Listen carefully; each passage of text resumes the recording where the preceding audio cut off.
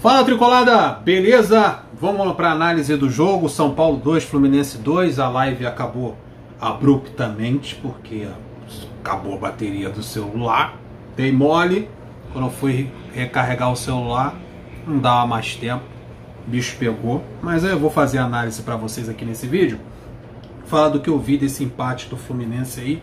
Que coloca o Fluminense, vamos atualizar aqui a tabela, em, em quinto lugar no momento Cara, no momento que eu estou fazendo esse vídeo, tá 0 a 0 Atlético Mineiro e Botafogo. Nesse momento, da feitura desse vídeo, o Fluminense é o quinto colocado com 28 pontos.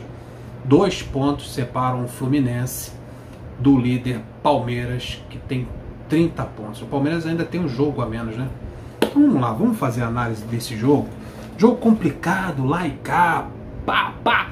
São Paulo utilizando os lados do campo, pelo lado direito, pelo lado esquerdo, com velocidade. O Fluminense começou bem no jogo. Aos 23 minutos, o Cano perdeu um gol sozinho. O goleiro Jandrei, que ainda estava em campo nesse momento, saiu. O Cano tentou encobrir ele, mas tirou muito do goleiro. A bola saiu pela linha de fundo. E o Fluminense criando outras oportunidades. E aos 26 minutos, o golaço do André. Então, o Fluminense até aí estava no momento bom. Morumbi lotado, pressão da torcida, o Fluminense foi lá e fez o seu gol. O Ganso dominou na direita, botou a bola na diagonal para o André. O André puxou da perna direita para a perna esquerda e chutou invertido no goleiro Jandrei. Jandrei ia para um canto pensando que ia para lá, a bola foi no outro. Belíssimo chute cruzado do André, partidaça dele. Gol do Fluminense, o Jandrei até saiu da partida, acho que deu um nó na coluna do goleiro. Então o Fluminense 1x0, aí tu pensou, porra, aí beleza aí. Fluminense 1 a 0 agora o Fluminense vai dominar o jogo. O Fluminense tinha mais de 60% de posse de bola né, até os 26 minutos da etapa inicial. O Fluminense estava mandando na partida. Mas aí, aos 33 minutos, saiu o gol do Luciano, que empatou a partida aos 33 minutos. E quando o Luciano empatou a partida, o jogo virou. Sabe, tu tá naquele navio, tranquilinho no barco, sol, aquela brisa, daqui a pouco vem uma tempestade Aí o jogo virou da água pro vinho. Aí começou a só dar São Paulo. O São Paulo ficou animado com o gol de empate. Cara, o Fluminense, é, nesse Brasileirão, é um time respeitável. É um time respeitável, um time que tem um bom treinador, tem um bom time. Aí quando o São Paulo empatou o jogo, mesmo com desfalques, com garotos lá de Cotia no time, o time do São Paulo tá bem mexido por causa os caras estão disputando três competições, Sul-Americana, Copa do Brasil e Brasileirão. Aí eles fizeram o gol e ficaram animados. Aí começou a dar o São Paulo. O Fluminense com muita dificuldade nas bolas aéreas, escanteios, bola parada, a cobertura não estava legal. Nesse gol do Luciano, é, posicionamento, posicionamento ruim, é, jogador marcando a bola, observando para a bola ao invés de marcar o jogador. Até no gol do Patrick, que eu ainda vou falar aqui, tinha três jogadores em volta dele. Três jogadores em volta dele observando a bola em vez de encostar no Patrick para fazer a marcação correta. E os laterais do Fluminense, Caio Paulista pelo lado esquerdo e o Samuel pelo lado direito, dando muito espaço. Samuel Xavier, o forte dele não é nem a marcação. Ele tem até uma jogada boa ofensivamente, um cara que se apresenta para a parte ofensiva, mas ele não é um bom marcador. E pelo lado esquerdo nem se fala com o Caio Paulista. O Caio Paulista não é lateral esquerdo. E o Caio Paulista, na minha opinião, não é todo jogo que o Caio Paulista deve ser escalado como titular. Você sabe que no São Paulo, principalmente em times comandados pelo Rogério Ceni, ele não é um treinador de fazer uma linha defensiva e de dar bola para o adversário. Ele também gosta do jogo. Ele sempre foi um treinador ofensivo.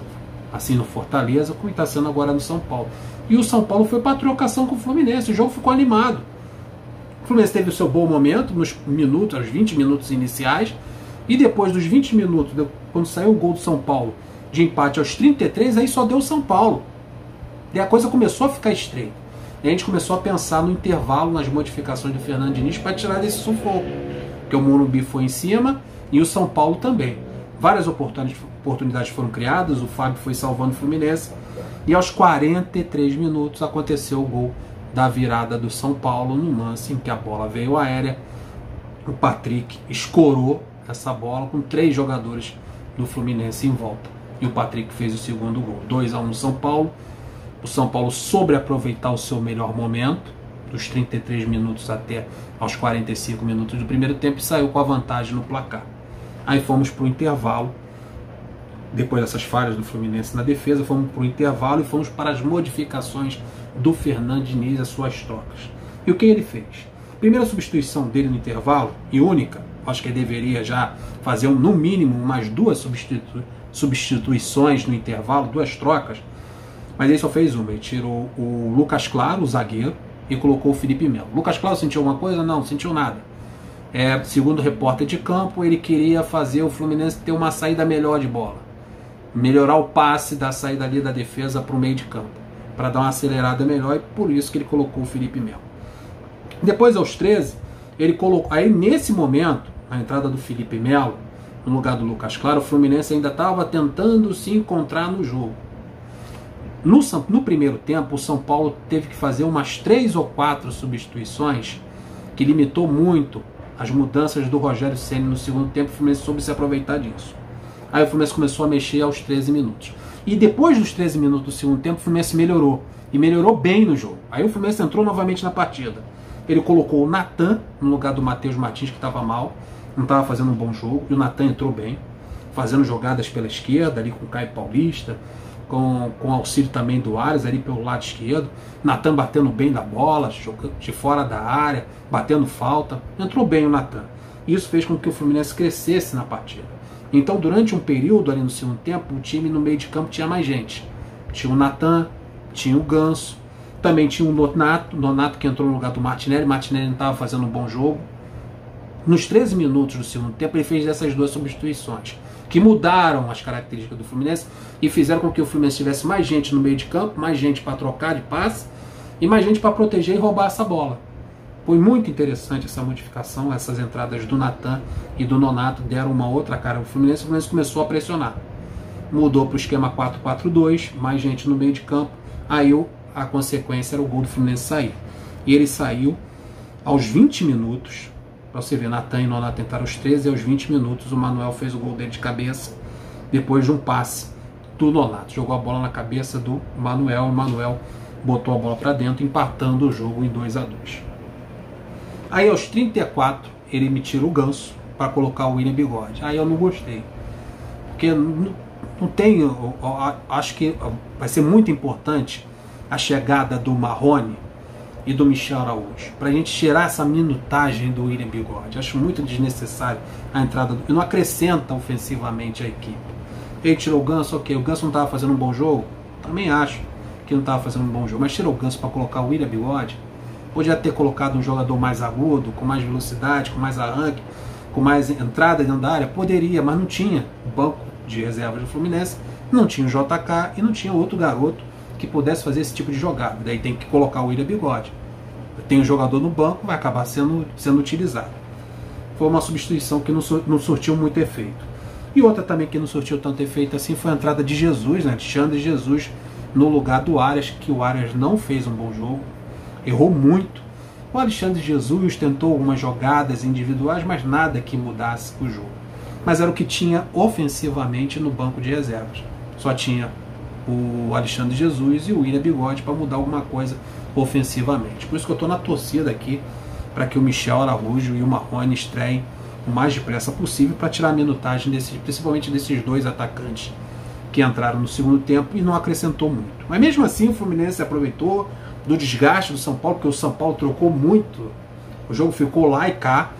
Teve uma hora que o, o São Paulo deu uma, uma cansada, o Fluminense tentou Caio Paulista perdeu um gol no último minuto, que ele recebeu a bola na entrada da área, tentou tirar do goleiro São Paulino. Faltou o Fluminense também testar esse goleiro de São Paulo e praticamente a bola não chegou na meta dele.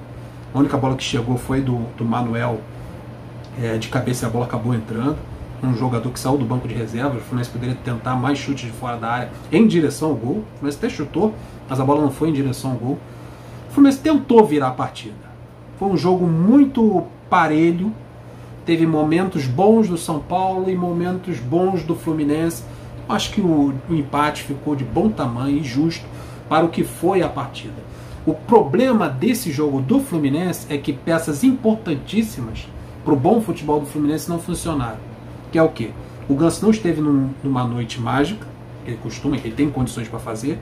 O Arias esteve muito mal e o Cano também. O Cano já mostra claramente é, desgaste físico, por estar sempre atuando, sempre entrando nos jogos, sempre como titular. Ele precisa é, ter alguém para revezar com ele, porque tá na cara que o Cano tá muito cansado, tá muito desgastado. E isso ficou bem claro lá no Morumbi. A bola não chegou e quando chegou, o Cano também errou bastante. Então é isso, rapaziada. É isso que eu vi do jogo. Peço que você deixe o like, se inscreva no canal, compartilhe o próximo vídeo. A gente vai fazer uma análise do jogador dando nota para todos eles. Beleza?